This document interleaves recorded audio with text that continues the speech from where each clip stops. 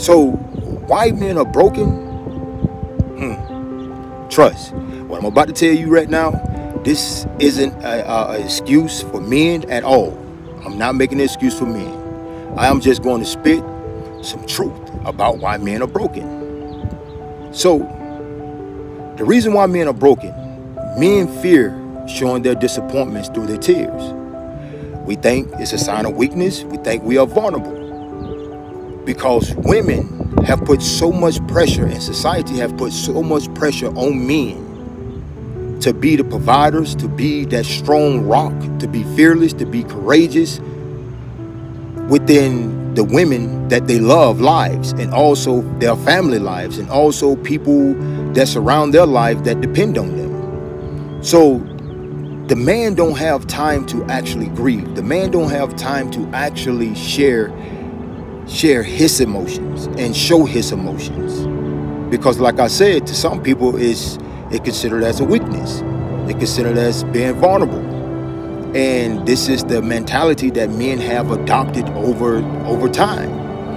Now, the reason why this is since it's because since the beginning growing growing up, boys growing up to be men, we have and society have encouraged men to suppress their emotions, not to show emotions. But the true reality of this is is that when you don't show emotions and you bottle up those emotions, you have to have an outlet. So your outlet will always spill, especially when your cups runneth over with, with those emotions that you want that person, you want someone that you can you can talk to that can comfort you and not judge you and look at you as a sign of weakness. We want that and we need that. But when you don't have that, what this end up doing, this end up later providing negative consequences within our lives and also the relationship that we are trying to build with the person that we love. Yes, strong women. Yes, yes, yes. Men do hurt. Men do go through shit and men do have strong emotions too.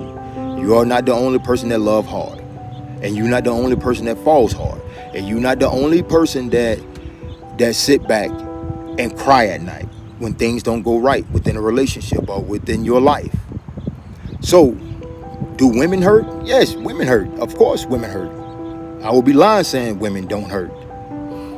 But women do not hurt any less than men. But your hearts are generally more open than men because women are naturally more vulnerable.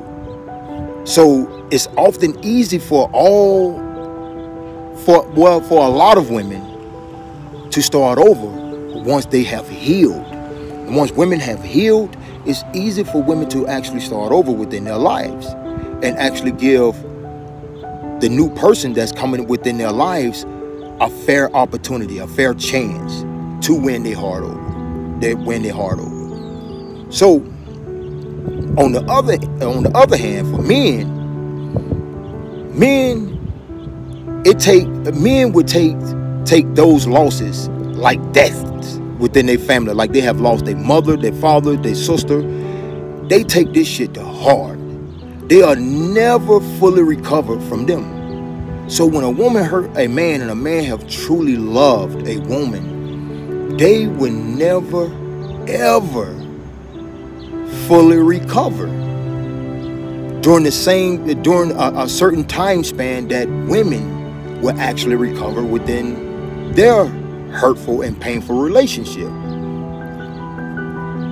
A man can move on. A man can truly move on within another relationship while he's broken. Don't don't make no mistake about that.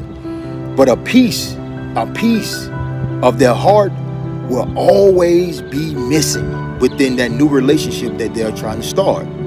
So should a should a man start over if he haven't worked on himself, if he haven't pieced together his broken heart. No, a man should never start over. A man should work on himself, himself outside of the uh, outside of a relationship before he commit to a relationship, because it's it's not fair to the person that he's inviting within his life, especially when they are coming with open arms and loving him openly, and he's just bottled up because of the hurt that he have experienced within his life.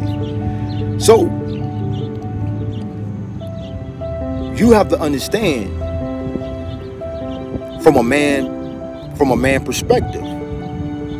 Just think about this. If you add multiple bad loves over a course of time, over uh, over multiple years, this shit will break anyone, including the strongest man. And when they move on within a new relationship, they are actually only a shell of the person that they were before they were broken. I want you to understand this now. Think about what I'm telling you right now. A broken man is a man who cannot trust easily. That's a broken man. He can't give as much and he can't open his heart up fully to anyone, no matter how badly he wants to. A man truly, truly wants to love. He wants to be loved but he don't know how to accept love because he eventually feels as if love will put him in the same situation that same hurtful situation that he have experienced through a woman that he truly have loved. So believe it or not these broken men they want healthy relationships they want healthy long-term relationships but they end up making their partner unhappy with their um, shit inability to truly open up to their heart, to trust the person that truly wants to be a part of their lives. So, women, you know, my advice to you, uh, my advice to these women that was coming in on on this so-called motivational speaker page, and y'all was downplaying men because you wanted to you wanted to heighten your your hurt and frustration with men, understand. Ask men the most important questions when you are entering in a man's life. Because some men are not open to share their hurt because that's a sign of weakness and a sign of a man being vulnerable. So it's hard for them to open up to you all. So ask them the most important questions. And a question like, when is the last time you cried? When is the last time you you loved? What was your longest relationship? Uh, you know, ask him that. Have you ever been hurt? That's an important question. If so, have you truly healed from your hurt? That's a reasonable question to ask. Did you did you take the right amount of time to actually heal within your life in order for you to be a viable piece within my life? Can you see yourself loving and trusting someone else again? These these are all these are all questions that a woman should ask a man, especially a man that have been broken. Because I assure you, I have been broken before. I truly have been broken before at an early age. And this woman, she, man, she did me bad. She made me think that this person was her uncle. But yet this person was someone that she was dating and she was falling in love with. I can go on and on about this story, but I but it would take more time. But what I'm saying that I have been broken. So what I did, I blamed every every woman that that was coming within my life that truly wanted to be a valuable piece within my life as if they were the same as the woman that actually hurt me and took my love and took my heart for granted. So it caused a ripple effect within my life. It caused distrust and it caused a disconnect with the women that truly wanted to be a part of my life. So had to learn to let go of the hurt. I had to learn to stop looking at all women the same as the person that hurt me.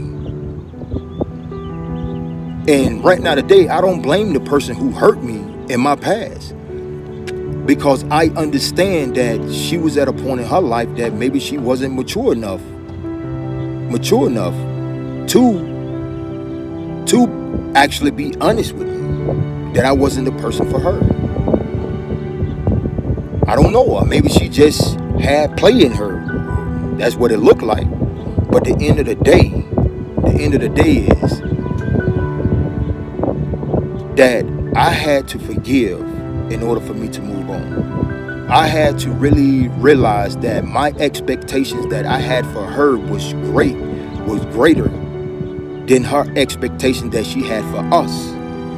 So sometimes we put all the expectations on men and women instead of enjoying the man and man and woman that we are with and learning them for who they are. And when you start learning learning men and women for who they are, then you start realizing that it's some type of disconnect somewhere. And when you start realizing the disconnect, then you start asking them about this disconnect, and then you start realizing that, okay, maybe I'm wasting my time, or maybe, maybe it is a healing process, and we will be okay within this relationship. These are, man, these are valuable, valuable things, man. So so understand, man, all men and all women make mistakes. And understand, men is not out here on a witch hunt to hurt women. It's just that some men mature, some men mature faster, some men mature slower, some men have play in them, and just some men, a lot of men just have been hurt and fucked over, just like some women.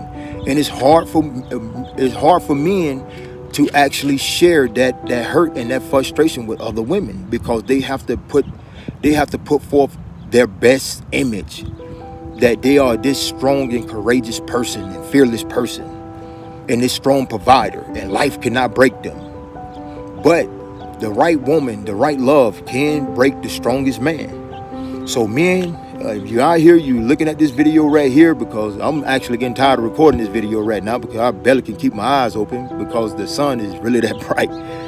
But if you're looking at this video right now man understand sharing your emotions, showing your emotions, and you being vulnerable is a sign of your strength, is a sign of you being courageous. Understand this.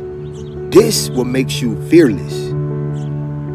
It takes someone that's have supreme confidence to say, man, I cried. Man, you hurt me. Man, it's gonna take me a while to get over this. That's true strength. That's where your true healing lies at. And and while you while you are coming while, while you are coming to grips with your reality by looking at your own reflection and seeing who you seeing the actual state that you are in, take that time to actually truly heal before you come into someone else's life. And vice versa to women. I guess man, that's my message to you all, man. I hope it makes sense to you. God bless you all, and I hope you all are enjoying your beautiful day too.